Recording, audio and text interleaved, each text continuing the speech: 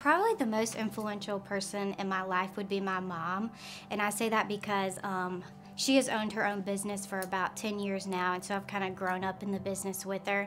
And um, seeing her run her own business has inspired me to want to open my own business. And just seeing her in that position, going from an employee to like um, a CEO and a manager and leader, was just really inspiring. Um, I would come there after school, and just watching her take on that role and lead her employees was just really inspiring.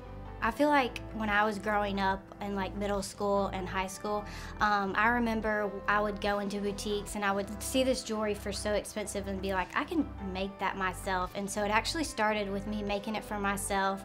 And then uh, my friends would like reach out and be like, oh, can you make me a necklace as well? And so I start, I made an Instagram and started selling from there growing up um, all through high school and like middle school everyone just expected me to um, like work with my mom and then one day take over that business.